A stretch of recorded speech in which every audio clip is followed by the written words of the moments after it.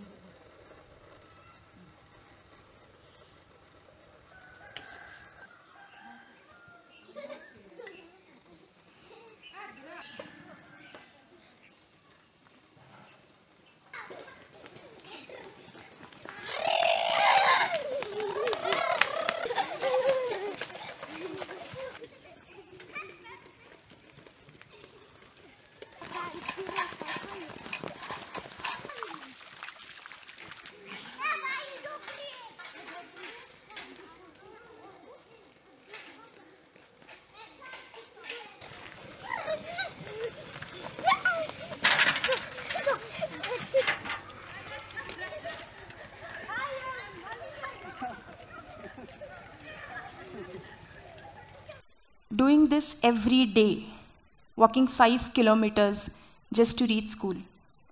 Riddhi must be having quite a fulfilling experience at school and also something to trigger her curiosity that takes her to school again tomorrow. This school, Sadhana Vidyalaya, is a collective dream. It is a dream seen by a community of 10 villages and Lok Biradari Prakalpa. Today, when we think of tribal education, the state insists on taking them out of the forest, out of their community, putting them into residential facilities, into cities, and then we'll see what to do with them.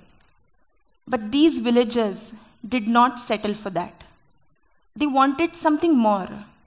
They wanted quality education near to home.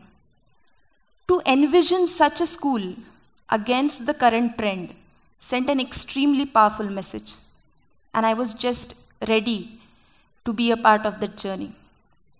Our school was started on 3rd of August 2015 with great excitement, celebration, drums, and music. After the program, we had decided to serve tea and snacks to the gathering. After snacks were served, we found out that we had forgotten the teacups. What to do? How do you serve tea to a gathering of 100 people without cups? We were in a fix. When the parents came to know what had happened, they started plucking trees, uh, uh, leaves from a tree, looked at the sun through it just to check if there were any minute holes, and with just two simple folds, everyone had cups with them. Tea was served. This incident had a profound effect on me. I realized that this was going to be no ordinary school, that I needed to stop and listen. When I see kids coming to school every day throughout the year, be the temperature 7 degrees or 45 degrees, be the rivers flooded, the roads muddied, they show up. Their love and dedication towards school is a tonic for me. When I come to school and see it buzzing and booming with children, that's a means of catharsis for me. When child absenteeism is such a huge problem throughout India, we as a team needed to pinpoint what exactly we are doing right. Because whatever we did at school was always from the children's perspective. We thought, how would Riddhi and her friends like this to be? What could be their problems? And then we started doing those things. We realized a couple of things that we were doing right. Firstly, school is just an extension of home, and it is near to home.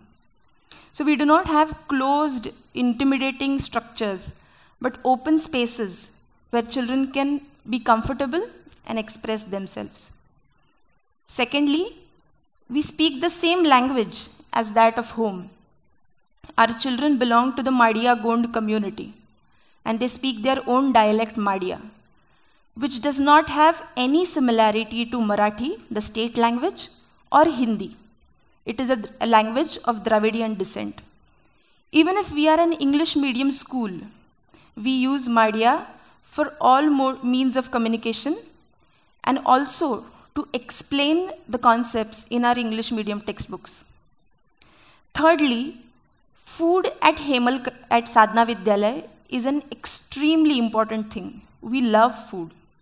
This is Shilpa Tai, our team member, and she knows the forest like the back of her hand. She knows which vegetable, which flower, which leaves to pluck when, and what to do out of it. She guides us in making tasty mahua laddus, these beautiful amaltash flowers being turned into a spicy vegetable. These fresh bamboo shoots to be made into fritters, and many, many more things. We also enjoy different cuisines like dosa, idli, noodles, cake, and many more things. Fourthly, children at Sadhana Vidyalaya are extremely doing busy with gardening, farming, singing, dancing, and most importantly, studying. The last thing that we realized that we do correctly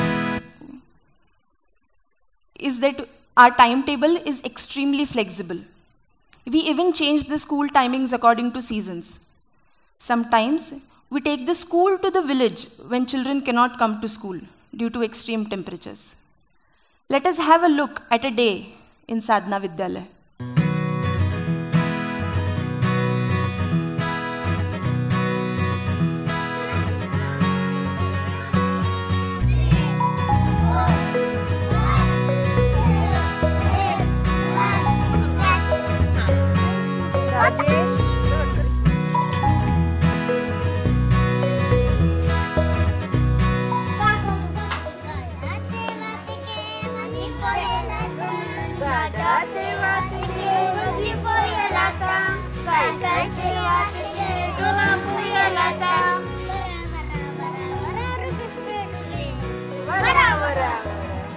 stupid thing.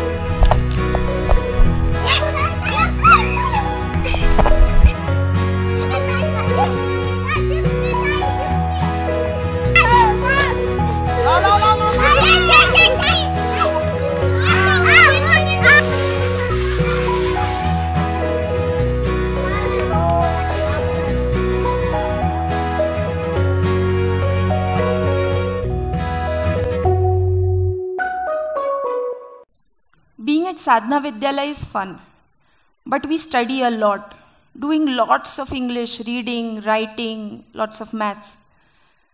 Because these children have to prove themselves. What if they decide to come to this world? Sadhana Vidyalaya is inaccessible during the monsoons, and even later, you'll need a strong SUV to get you there. So, when guests visit us, they are already shaken by the travel and the road and they're expecting to see some poor kids barely faring at school. But when they come and they see these cheerful, happy, confident kids, and they are bamboozled with questions by children in English, their confidence is inspiring and laughter is infectious. There are a few days at school when everyone is doing the same thing, like a mania, a craze. So we had this craze of portrait drawing at school. Whenever they would get free time, we would see them drawing portraits of each other. But within our resources, our children devised a beautiful means to draw a portrait like this. So they would spend lots of time drawing long and short portraits of each other and having lots of fun with it. What we as facilitators did was just discuss with them why this phenomena occurred, and we had a thrilling geography class. Not every time does community and parents support the idea of integrating traditional knowledge in a formal setting called school. Not a very easy task. Patriarchy has been established. We are told that tribal culture, tribal knowledge is obsolete. But we believe that assimilation is possible. Riddhi and her friends are flourishing through this process. But Riddhi has a few more friends who are in need of such a safe space. We as an organization have limitations to scale. The hegemony that we have created through this troubles us a lot. If we have to change the overall Indian scenario, we need to increase the averages and not create pockets of excellence. We need many more such community driven, community led schools. We need policy to change. We, as educators, policymakers, need to change the narrative we use while defining tribal education. We need to stop and listen. Thank you.